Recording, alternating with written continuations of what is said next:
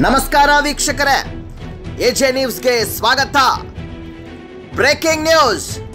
ಇದು ಎಜೆ ನ್ಯೂಸ್ನ big impact.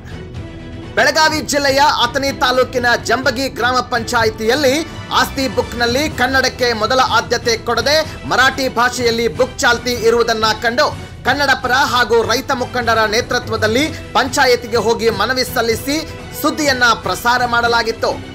ಮನವಿಗೆ ಹಾಗೂ ಸುದ್ದಿ ಪ್ರಸಾರ ಮಾಡಿದ ನಂತರ ಎಚ್ಚೆತ್ತುಕೊಂಡ ಅಧಿಕಾರಿ ಕೂಡಲೇ ಆಸ್ತಿ ಬುಕ್ ಅನ್ನು ಕನ್ನಡಕ್ಕೆ ಅನುವಾದಿಸಿ ಮನವಿಗೆ ಸ್ಪಂದಿಸಿದ್ದಾರೆ.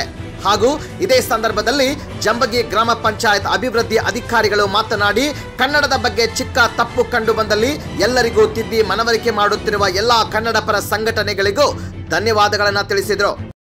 ಗ್ರಾಮ ಹಾಗೂ ಗ್ರಾಮ ಪಂಚಾಯಿತಿಯಲ್ಲಿ ಪ್ರತಿಯೊಂದು ನಾಮಫಲಕ ಕಡ್ಡಾಯವಾಗಿ ಕನ್ನಡದಲ್ಲಿ ಆಗಬೇಕು. ಮತ್ತು ಪ್ರತಿಯೊಂದಲ್ಲಿ ನಮ್ಮ ಕನ್ನಡ ಭಾಷೆ ಅಳಿವು ಎಲ್ಲರಿಂದ ನಮ್ಮ, ನಿಮ್ಮ ಕೈಯಲ್ಲಿ ಇದನ್ನು ನಾವು ಎಲ್ಲರೂ ಕೂಡಿ ಸಂಭಾಳಿಸಿಕೊಂಡು ಹೋಗುವುದಾಗಿ ನಮಗೊಂದು ನಮ್ಮ ಮನವಿ.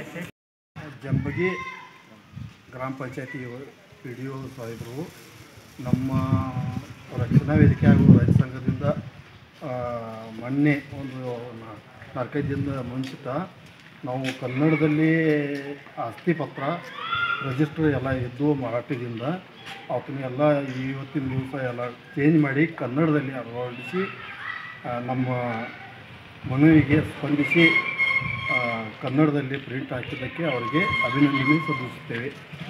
ನಂತರ ಕರ್ನಾಟಕ ರಾಜ್ಯ ರೈತ ಸಂಘ ಸಂಬರಗಿ ಘಟಕದ ಅಧ್ಯಕ್ಷರಾದ ಗೋಪಾಲ್ ಮಿಸ್ಸಾಳ್ ಅವರು ಮಾತನಾಡಿ, ಕೂಡಲೇ ಮನವಿಗೆ ಸ್ಪಂದಿಸಿ ಆಸ್ತಿ ಬುಕ್ ಅನ್ನು ತಿದ್ದುಪಡಿ ಮಾಡಿದ್ದಕ್ಕಾಗಿ ಧನ್ಯವಾದಗಳನ್ನು ತಿಳಿಸಿದರು.